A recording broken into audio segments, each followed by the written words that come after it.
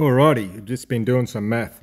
This guy on the wing is, um, I bent down and done a few experiments, and when I bend over, my butt to the end of my head is about a metre, pretty close to it, and when I bend over with a bent knee, um, my back is a metre. So one square metre, um, and you can see in this, this image, I've worked out um, it's about nine metres wide, um, and average is two and a half metres in the centre. So the top run, I've had to draw it out because the top flap, um, this, uh, anyway, we'll just go to the next video. See, this image here shows, um, that's closer to three meters from that bloody, um, that back wall. It's closer to three, but I've only allowed um, two meters in my calculations.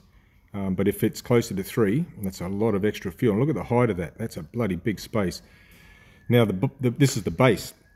So nine by two meters uh, is definitely reasonable um, for that space.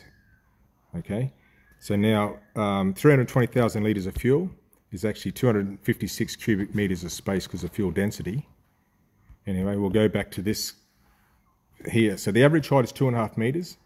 Uh, average width is two.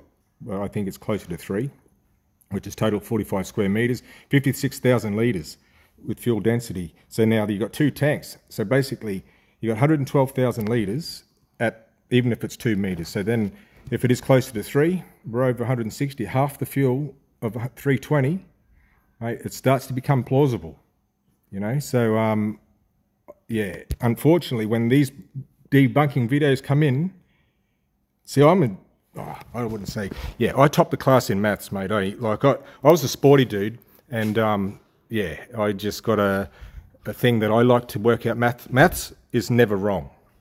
You know, English is often wrong because there's interpretations, but maths is always an answer. And, you know, when you start to look at it, it's plausible.